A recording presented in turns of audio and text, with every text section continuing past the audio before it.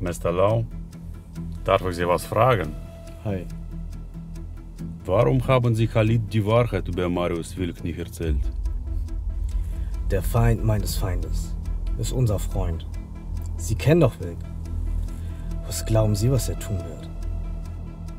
Ich weiß, was er tun wird. Genau. Dann wird es für uns einfach sein, den gesamten Norden zu übernehmen.